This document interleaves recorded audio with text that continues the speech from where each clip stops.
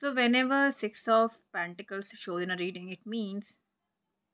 that you have the willingness to share resources, whether material, financial, or even time and knowledge.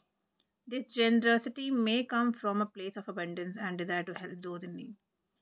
And uh, you are, uh, you know, becoming very much balanced right now. You're becoming fair.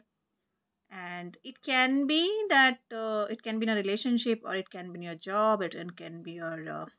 business. And whenever uh, this card comes so it can also meaning that the good karma which you have done now it's showing the benefit to you and uh, another meaning can be that uh, you know it's about the social responsibility but maybe yet you want to start a business uh, because you